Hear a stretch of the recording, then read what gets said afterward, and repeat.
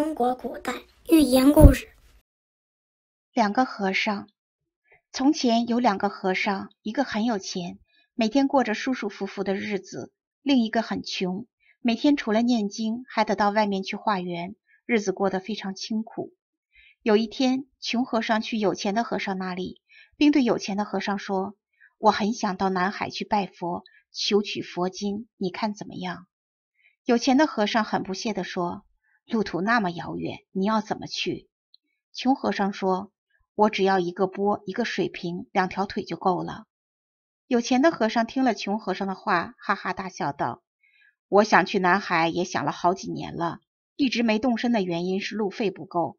我的条件比你好得多，都未能去成，你又怎么去得成呢？”过了一年，穷和尚从南海回来了，而且还带回来一本佛经，送给了有钱的和尚。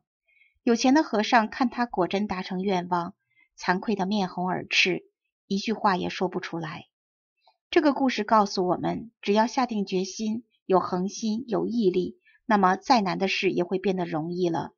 穷和尚虽然没有钱，但是因为他有坚强的毅力，才能够跋山涉水，不畏艰险，最终达成愿望。